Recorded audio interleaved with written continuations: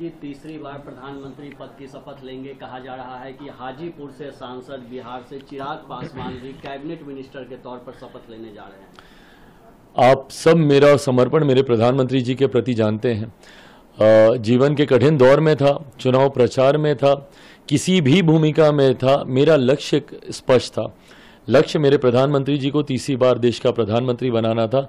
आज मेरे लिए सबसे बड़े उत्साह की बात यही है कि उस लक्ष्य को हम लोग पूरा करने जा रहे हैं।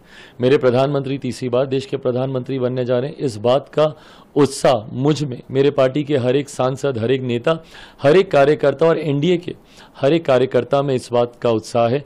कौन अब सरकार में आता है, नहीं आता है, कौन मंत्री बनता है, नहीं बनता है, ये किसी भी घटक दल की प्राथमिकताओं में नहीं है। मैं कई बार मीडिया चैनल पे सुनता हूँ कि इसने ये मांग की, वो मांग की, किसी ने नहीं। कल एनडीए की बैठक में सिर्फ़ हम लोगों ने प्रधानमंत्री जी के नेतृत्व को पुनः स्वीकारते हुए औपचारिकता हम लोगों ने निभाई है। प्रधानमंत्री जी प्रधानमंत्री बने, इस बात की तत्परता हम सब में है। घटक दल की कोई मांग नहीं है। इंडिया ब्लॉक की तरफ़ से कहा जा रहा है कि आपकी पार्टी हो या चंद्रबाबू नायडू की पार्टी हो या नीतीश कुमार की पार्टी हो, उनको अप्रोच किया जा रहा है।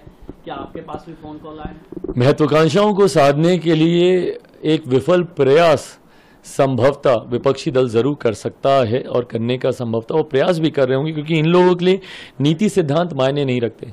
जनादेश का अपमान करने तक के लिए ये परहेज नहीं करते जब अपनी महत्वाकांक्षाओं को सिद्ध करने की बात आती है। ऐसे में ये जनादेश पूर्णतः एनडीए के लिए है एनडीए के पक्ष के लिए है। ये जनादेश ये जनादेश अ, मेरे प्रधानमंत्री जी को तीसरी बार देश का प्रधानमंत्री बनाने के लिए है। ऐसे में कोई भी घटक दल इस जनादेश का अपमान नहीं करेगा। मजबूती से हम सब प्रधानमंत्री जी के साथ हैं। जल्द सरकार बनेगी और वो पाँच साल मजबूती से सरकार चलेगी। और आखिरी सवाल की